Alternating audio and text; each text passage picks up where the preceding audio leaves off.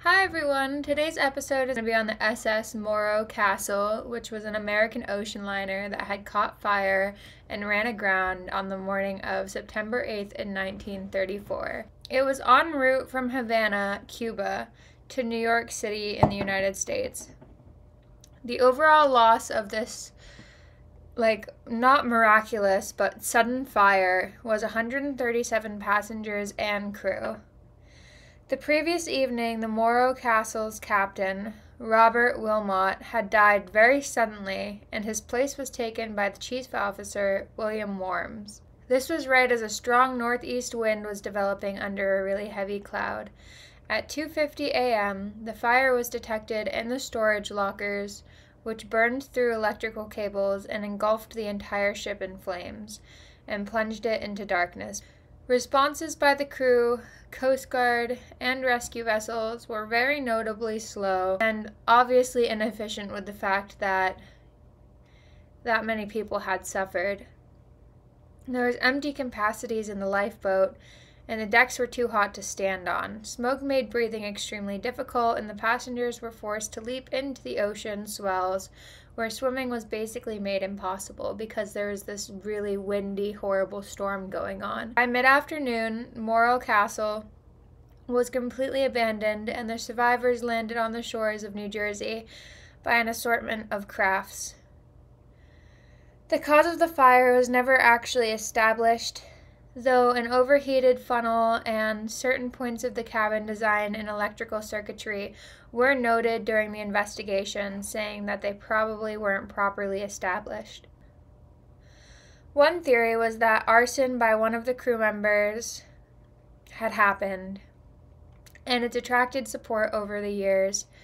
Although there isn't really any concrete evidence to support that, it is one of the more like favored attributes of what could have caused this. The high number of casualties are chiefly to blame on the crew's incompetent handling of the emergency as it was happening. On May 22nd of 1928, the United States passed a Merchant Marine Act creating a $250 million construction fund to be lent to the United States shipping companies to replace old and outdated ships with new ones.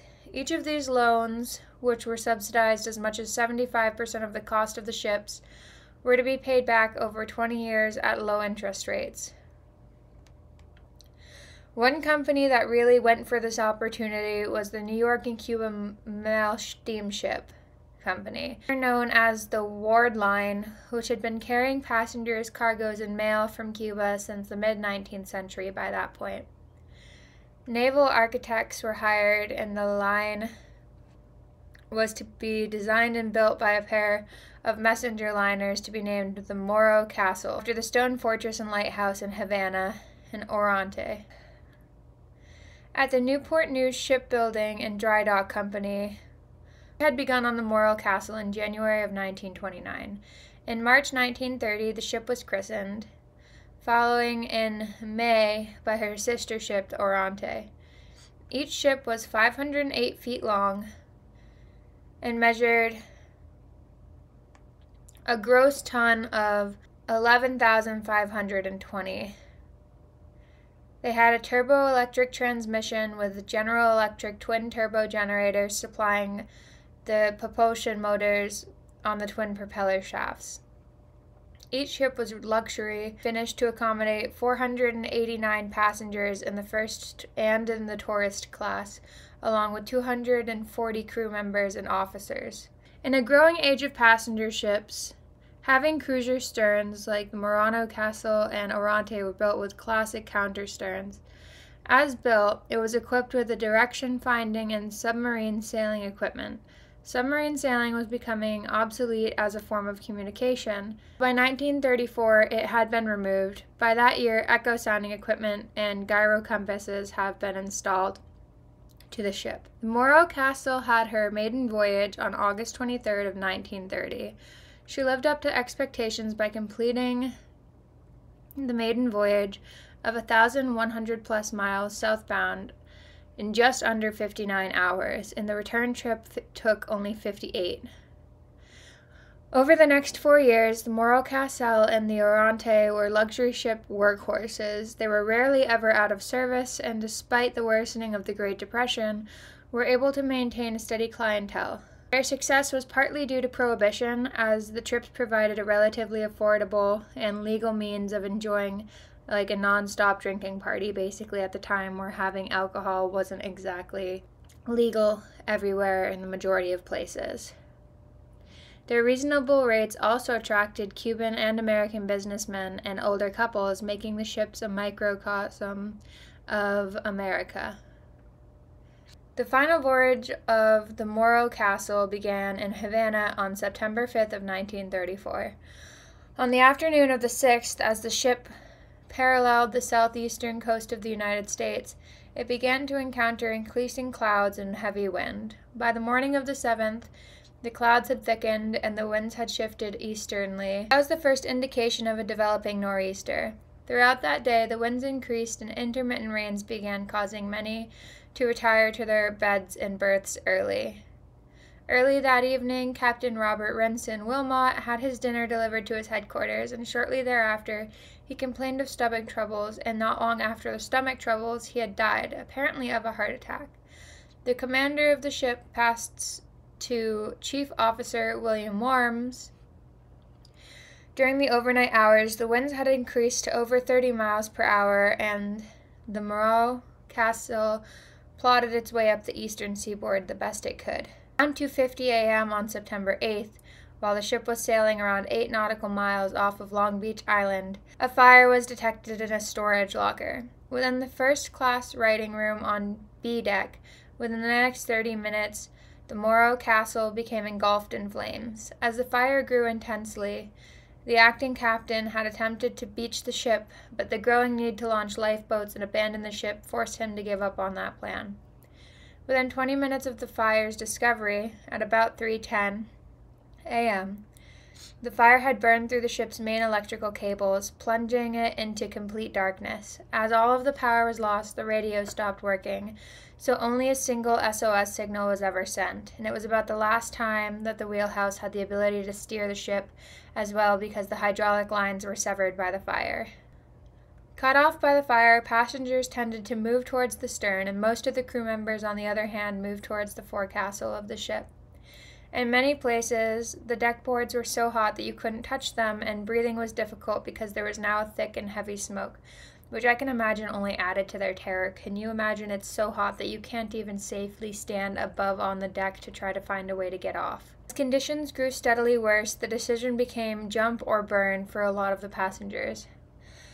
However, jumping into the water was extremely problematic due to the storm caused at the hands of the high wind and current and it made waves basically impossible to try to swim through, especially that in the morning with limited visibility.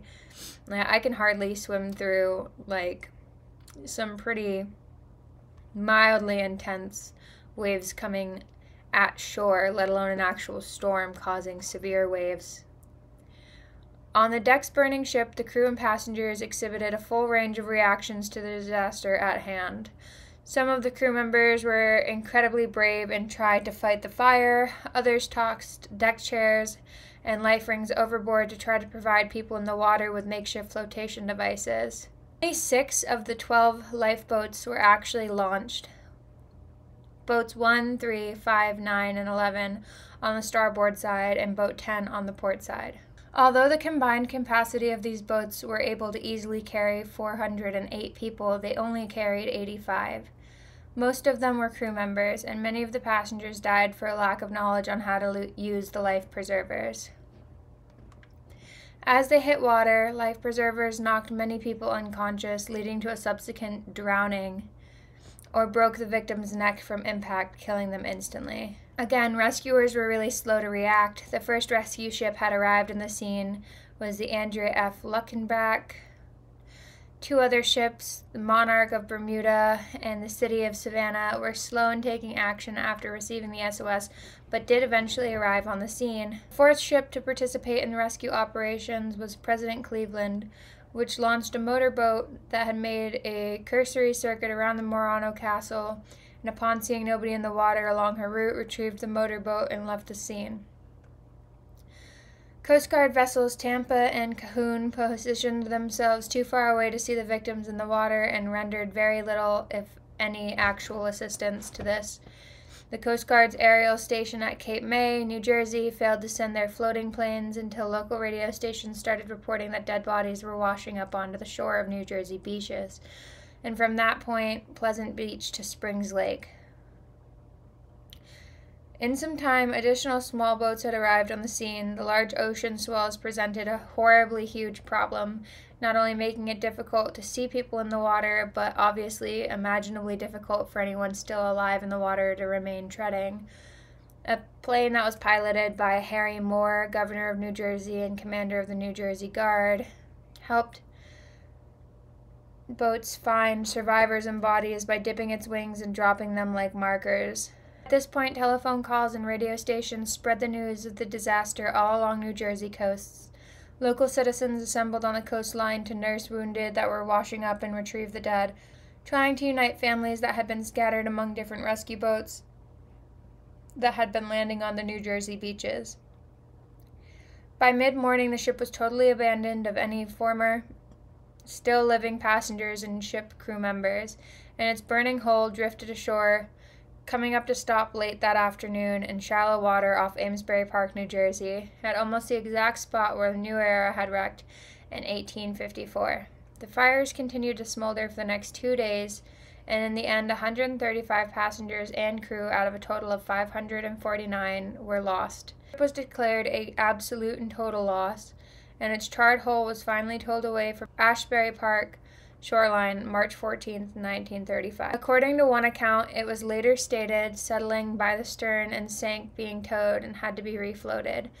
Other accounts have that the ship was towed without any issue, but regardless, it was towed to Gravesend Bay and then Baltimore on March 29th of 1935, where it was scrapped. The next couple of months, because of the proximity to the boardwalk in Asbury Park, Hall's Convention Pier, it was possible to wade out and touch the wreck with one's hands. The wreck was basically treated as a destination for sightseeing trips and completely stamped with penny souvenirs and postcards for sale along the shore. Some of the factors that might have contributed to the fire being this intense or happening at all were the design of the ship and the materials used in her construction. There was questionable crew practices and a lot of mistakes that had escalated the onboard fire to a roaring inferno that eventually did and would destroy the ship. As far as the materials used in the construction were concerned, it was an elegant but highly flammable decorated ship, veneered in wooden surfaces, glued ply paneling, and that obviously did nothing but help the fire spread quicker. The ship's structure also lacked a lot of safety features. The structure of the ship also created a number of problems. Although the ship did have fire doors, there existed a wood lined 6 inch opening between the wooden ceilings and the steel bulkheads, and that provided the fire with flammable pathways that bypassed any of the fire doors, enabling it to spread farther even when shut. The ship did have electrical sensors that could detect fires in any of the ship's staterooms and crew quarters, offices, and cargo holds and engine rooms. But there were no detectors in the lounges, dance halls, writing rooms, libraries, tea rooms, or dining rooms.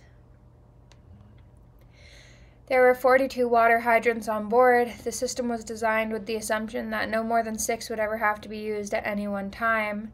And when the emergency on board happened, the crew opened virtually all of the working hydrants, dropping water pressure to unusable levels everywhere. The ship's Lyle gun, which is basically something that's designed to fire a line to another ship to facilitate like evacuation and emergency measures, was stored over the Morro Castle's writing room, which was where the fire originated in the first place. That had exploded before 3 a.m., further spreading fire, breaking windows, and allowing near gale force winds to enter the ship and fan the flames. Finally, fire alarms did go off, and the ship produced a muffled, scarcely audible ring, according to the passengers that did survive.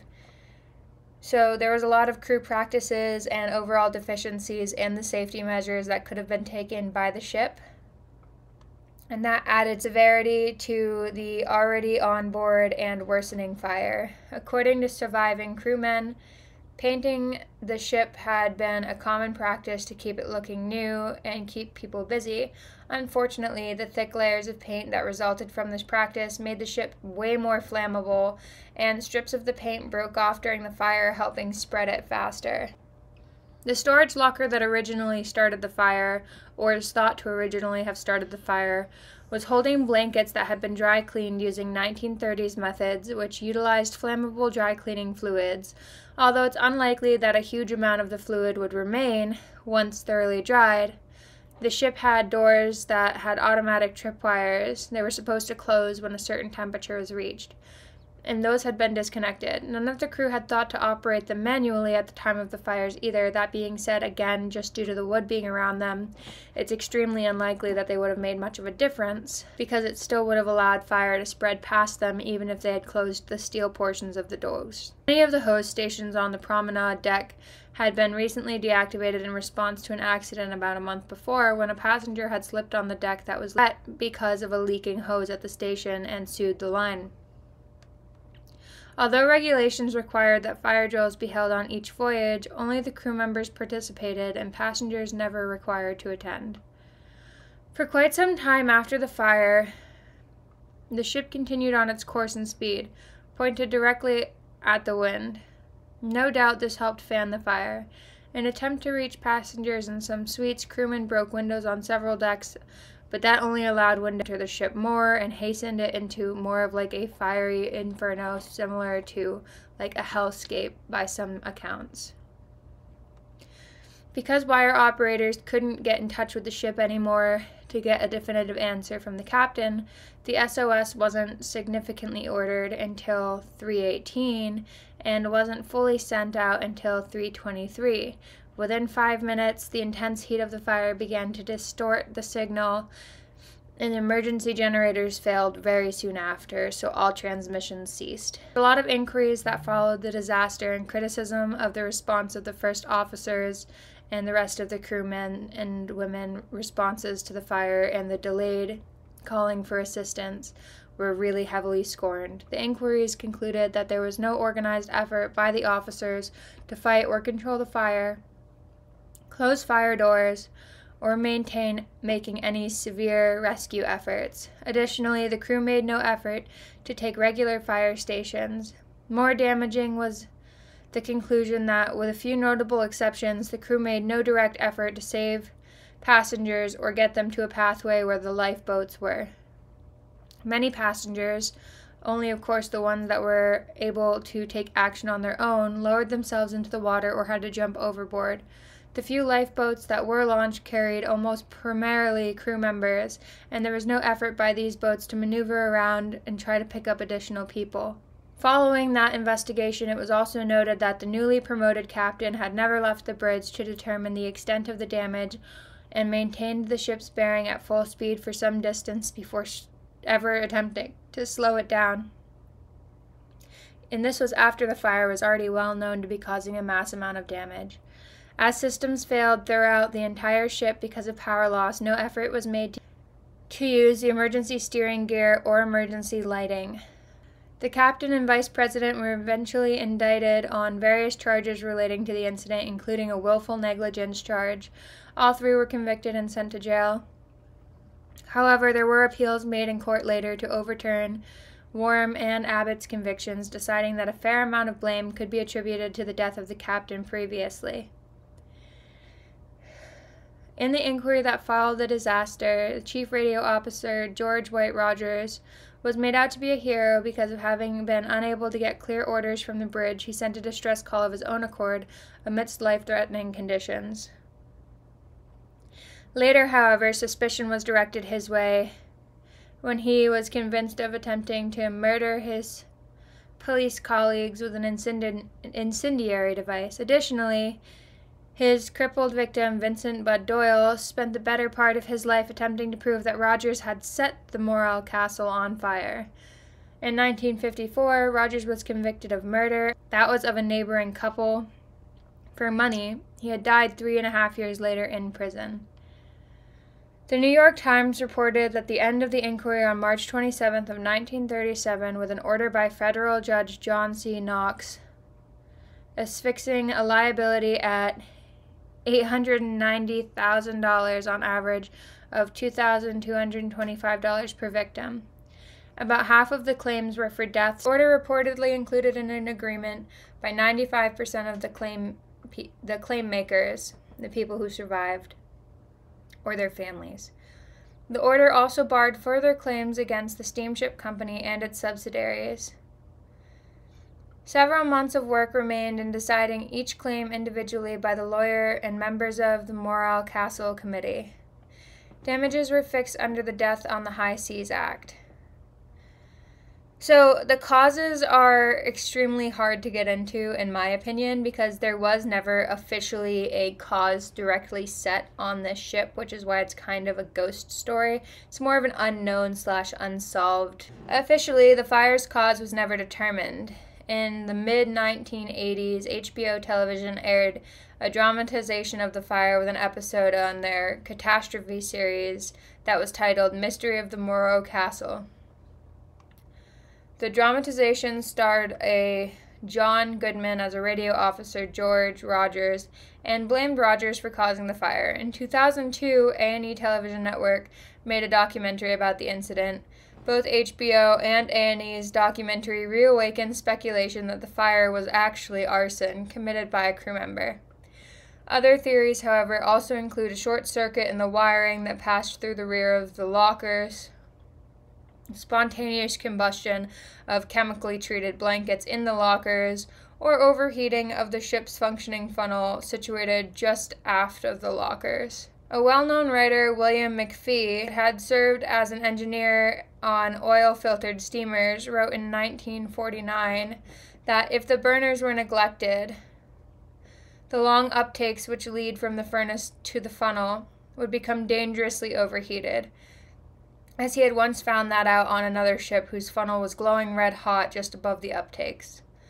The Murano Castle's funnel was clad and basically completely covered in flammable material, where it passed through the passenger quarters, and several people had noticed smoke as early as midnight. The ship was making 19 knots against a 20 knot headwind and simply overheated, according to McFee in his account. But the high loss of life was caused by an incompetence in the crew and the handling of an emergency. Furthermore, a Cuban writer, Rene Mendez, was aboard when the tragedy happened on the route to New York City, where she would travel to Paris to take some administration over the Cuban consulate there. Trapped in her cabin as the ship became engulfed in flames, was luckily found by crew members because of her corpulence. She had been removed through a hatch, and the American steward Carroll Pryor gave her his flotation device, therefore saving her life effectively. Upon her arrival in New York City, she was interviewed by the American press. Because she expressed sympathy with the Cuban Communist Party, she was accused of being a communist agitator and the author of the fire that basically destroyed the ship completely. That fire is undoubtedly the worst memory I've ever had, she recalled. Some of the victims of the fire were buried in Mount Prospect Cemetery, Neptune, New Jersey, along the coast. The Morro Castle's radio call sign KGOV is still registered to the ship FCC more than 80 years after her demise. It's therefore unavailable to use by broadcast stations. On September 8th of 2009, the first and only memorial to the victims, rescuers, and survivors of the castle disaster was dedicated on the south side of the Convention Hall in Asbury Park near the very spot where the burned out hull of the ship finally came aground. The day marked the 75th anniversary of the disaster. You can now see the Morro Castle ship bell at SUNY Maritime Fort Schuyler. It's basically like a little maritime museum. If you like this case or want to know about more unsolved strange mysteries, make sure you leave a comment on which one you'd like to hear more about and give a thumbs up and subscribe so you never miss another episode. I hope you have a good rest of your day.